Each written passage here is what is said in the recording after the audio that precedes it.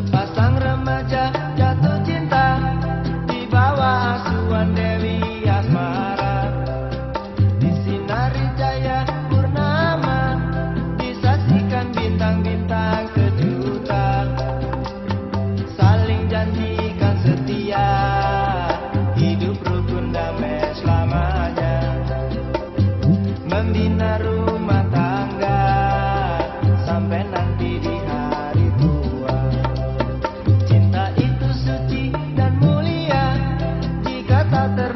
Absolutely.